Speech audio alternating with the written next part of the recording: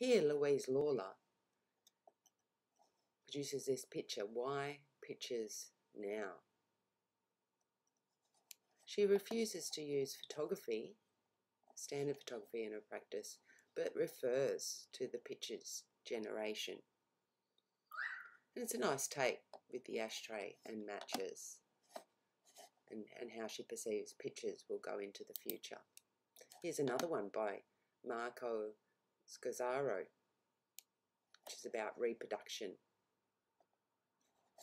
And here's that web address where you can have a look at more artists pushing the boundaries of photography.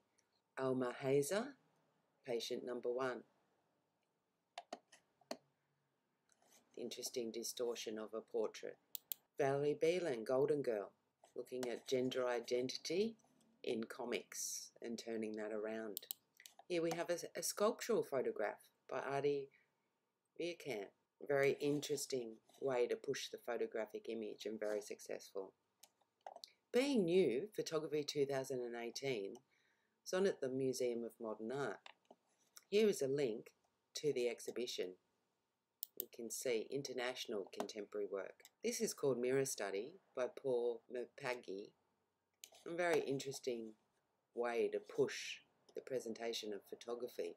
You can see the actual body has become part of the work. Shilpa Gupta has halved her frames to create, or split frames, to create an interesting result and to fragment the world. Stephanie Syjuco revisits historical ethnographic studio portraiture using mass manufactured goods purchased from American shopping malls and restyled to highlight popular fantasies associated with the ethnic patterning and costume.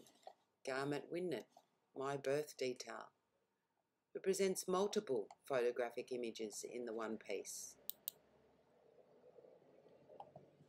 Strength in Honour is another piece by Aida Muluneh.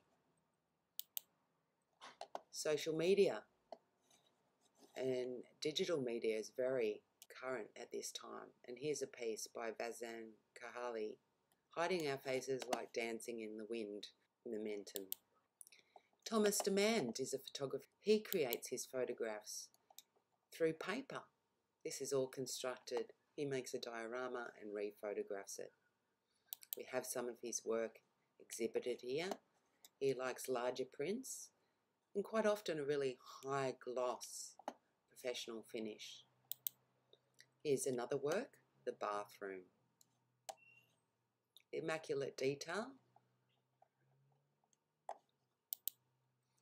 His work again in a gallery. You can see here he used, he's used a sight line from one space to view into another. You can see that it's nicely framed by the doorway.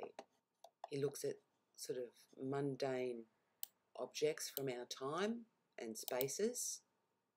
And here's that piece exhibited in the gallery. Another really interesting artist is Tacita Dean, who looks at film and the transition to digital in photography. These works are from a show at the Tate in London.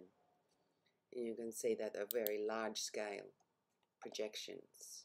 When you're thinking about the display of your photographic work, try to ensure that it suits your concept or idea.